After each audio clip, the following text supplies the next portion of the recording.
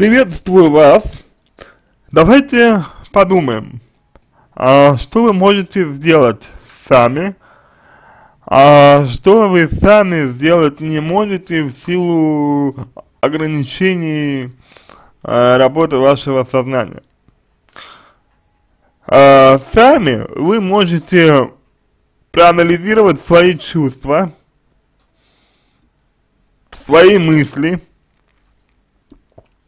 которые возникают у вас в результате, например, э, разрыва э, отношений.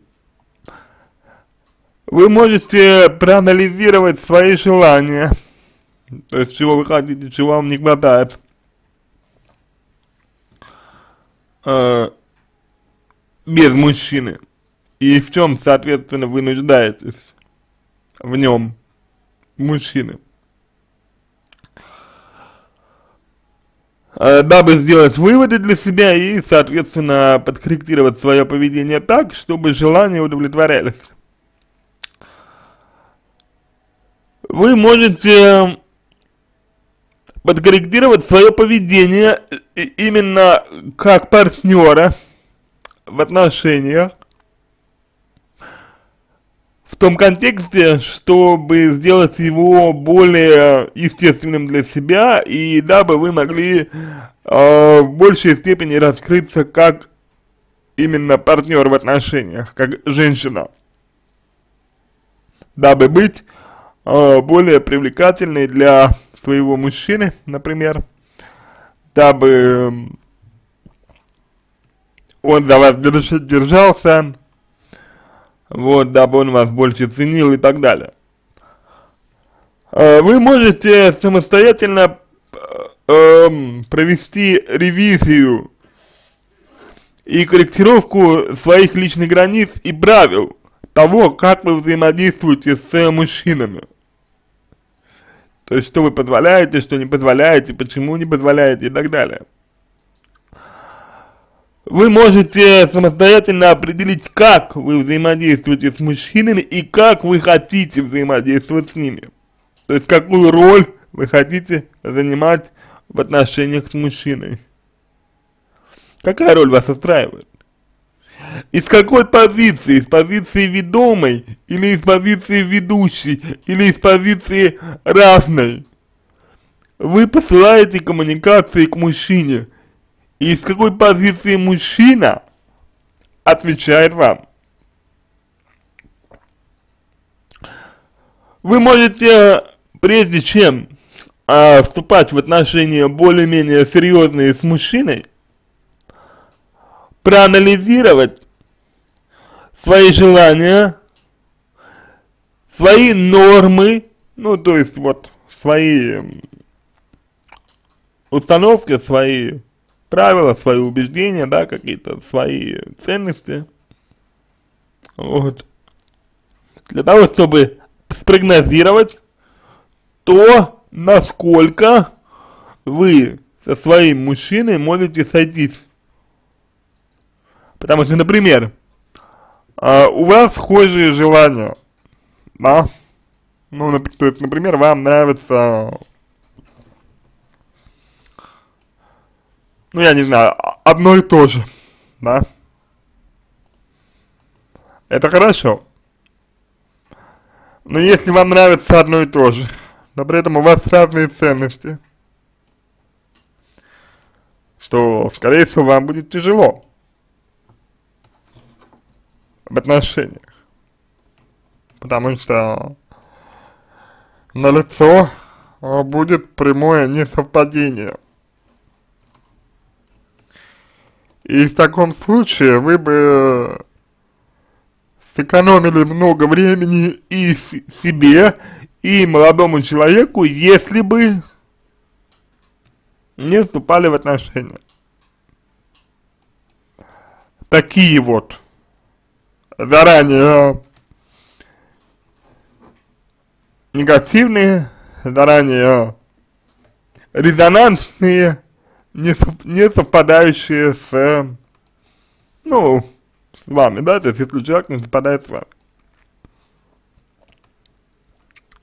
Вот это то, что вы можете сделать сами.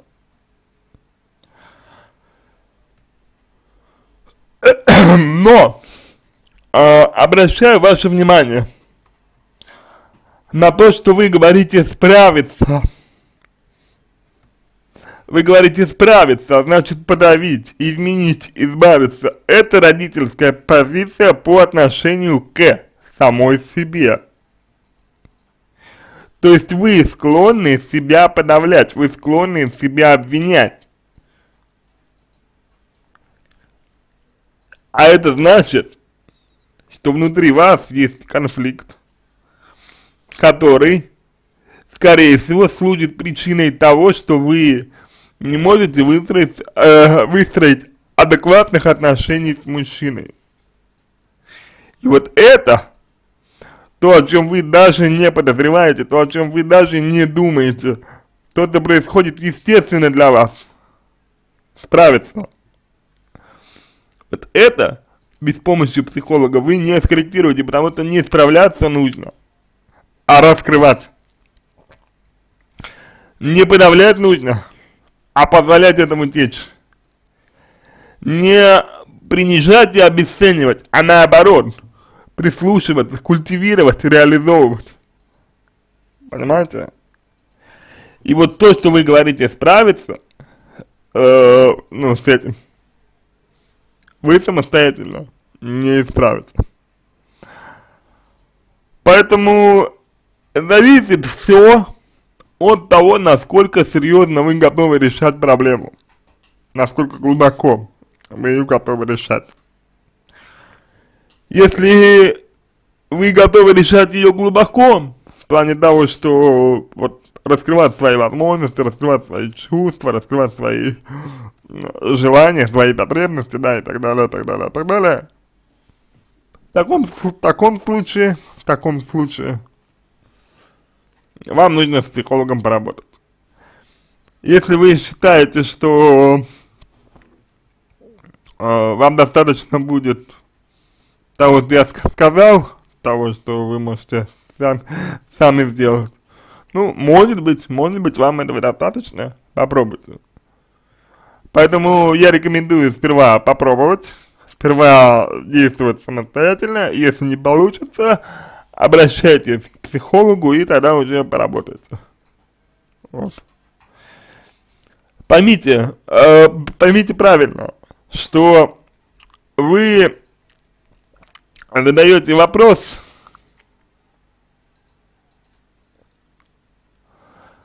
э, не совсем корректный, потому что психологу невыгодно сказать вам, что вы можете с этим справиться самостоятельно. Э, ему выгодно сказать вам, что только с ним вы, вы справитесь, потому что, ну, для психолога это работа, источник дохода. Здесь вы, скажем так, ставите человека перед соблазном. То есть вот насколько для вас авторитет незнакомых людей важен, Поверите вы, ли вы мне, если я скажу, что вы можете справиться сами до определенного предела, после нет? Поверите ли вы другому, если он скажет, что сами вы с этим не справитесь, и что вами движет бессознательный страх близости с мужчиной? Насколько вы готовы верить?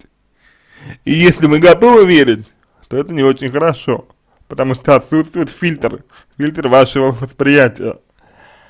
А если вы не готовы верить, то ваш вопрос это всего лишь фикция, Потому что, по сути, вы сами знаете ответ, вы сами знаете, что будете делать, но ждете подтверждения э, своего решения.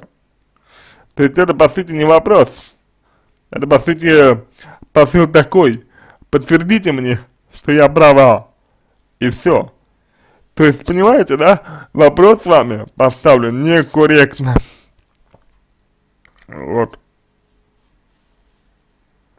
Его надо перефразировать перефразировать.